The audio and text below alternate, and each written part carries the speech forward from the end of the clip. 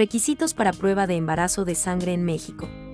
Uno de los principales requisitos para prueba de embarazo de sangre en México, deberás haber tenido los síntomas característicos del embarazo, es decir, mareos, náuseas, vómitos, antojos extraños, cansancio, sueño constante, falta de apetito, entre otros.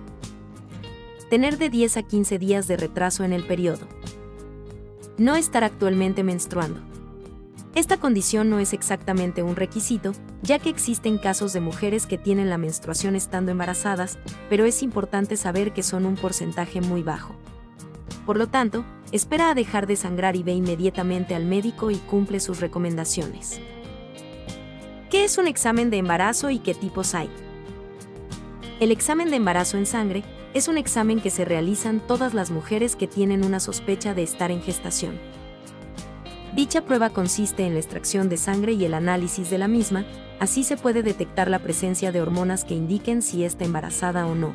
Existen diferentes tipos de exámenes para saber si hay embarazo. Principalmente, hay dos análisis de sangre durante la sospecha de embarazo y son las siguientes. La prueba cualitativa para determinar la presencia de HCG. El análisis de sangre cuantitativo para calcular el nivel de concentración de HCG en la sangre. Prueba cuantitativa de beta-HCG.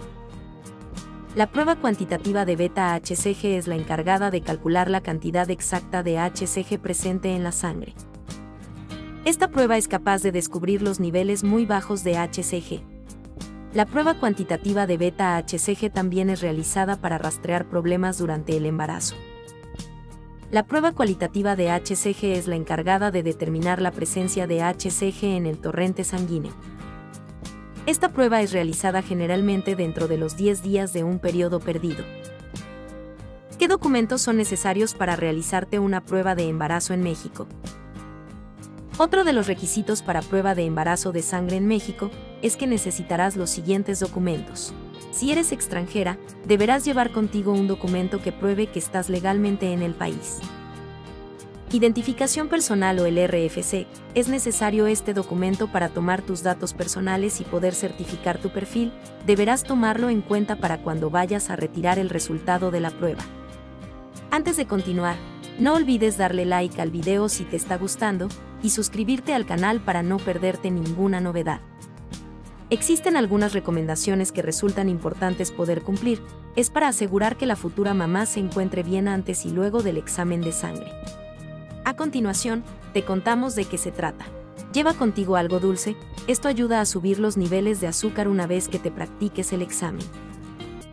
Es muy importante y fundamental que vayas acompañada, en especial si eres una persona nerviosa, ya que la extracción de sangre puede ser causa de desmayos en algunas personas.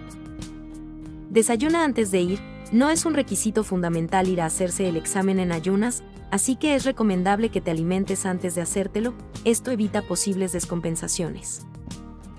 Existen varias ventajas de la prueba de embarazo en sangre por sobre las pruebas caseras.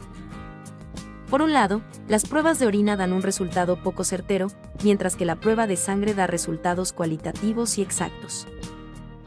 Las pruebas en serie realizadas por el médico monitorean la salud durante la gestación.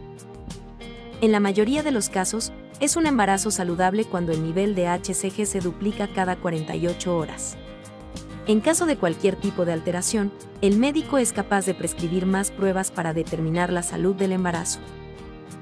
De hecho, si el nivel de HCG es extremadamente alto, hay sospecha de embarazos múltiples. Las pruebas de embarazo casero, como las de orina, tienden a dar una precisión en el resultado de un 97%. Por otro lado, la prueba de embarazo en sangre ofrece un resultado preciso. Una prueba de embarazo realizada en el hogar nunca es del todo confiable, ya que pueden inculcar falsas esperanzas a la mujer o incluso pueden descartar un embarazo positivo y con ello lograr un grave descuido en la gestación. Razones por la cual hacerte un examen de sangre y no uno casero.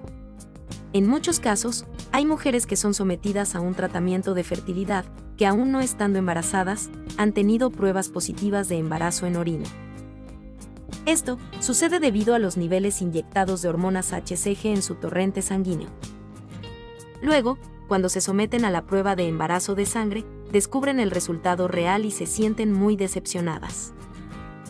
Por ello, las mujeres que se encuentran realmente embarazadas, a veces y sin saberlo, descuidan mucho su embarazado, ya que la prueba de orina no ha dado información certera sobre su gestación.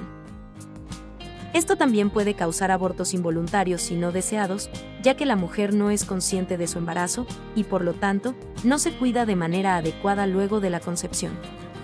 Esperamos que te haya gustado este video.